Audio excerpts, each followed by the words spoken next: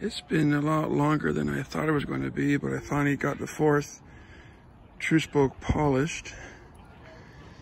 I've been very busy with work and now I'm in my full spring mode of work so I got a lot of work coming in and I just don't have time for Cadillacs like I'd like to. Plus I put family first every anyway. But this was the last one I've just finished.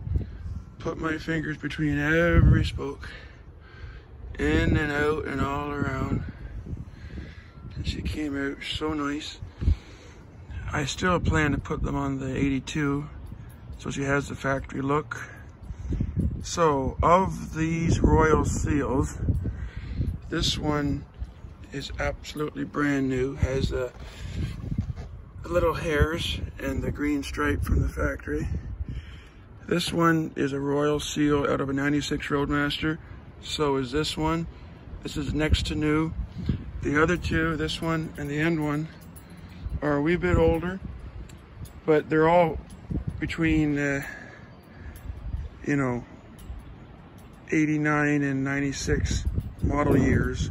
So uh, they're too old to be safely driven. So it's obviously just for show.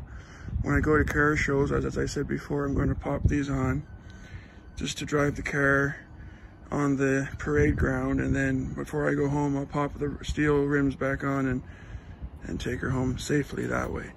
It's a little bit of work. You got to bring another car to to um, hold the other rims, but and a jack and all that stuff, but it makes the car look so nice. But I finally got all four done. So thank you all for watching. And I'll keep you posted on next Cadillac projects.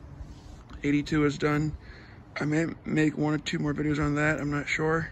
It depends on my workload, but I'll definitely show it to you when I get these on the car. So thank you all for watching, and I'll see you down the road.